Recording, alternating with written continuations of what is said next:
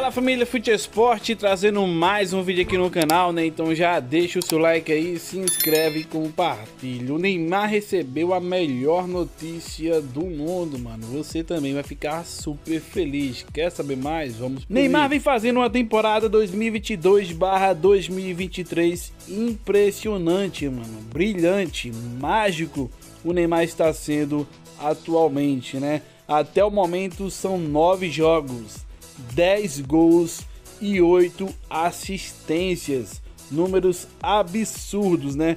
Que já ultrapassou o seu melhor início de temporada, né? Que era até então a de 2014-2015, quando ele atuava ainda pelo Barcelona. O Neymar vive na sua carreira o melhor momento, mano. É agora, né? Neymar vive o melhor momento em sua carreira como profissional de futebol. E a excelente notícia, né, a melhor notícia do mundo que ele recebeu foi ter se tornado o quarto maior artilheiro da história do PSG, mano. Com um gol contra o Brest, né, ele chegou ao seu centésimo nono gol e ultrapassou Pauleta, né? E agora é o quarto maior artilheiro da história do clube francês.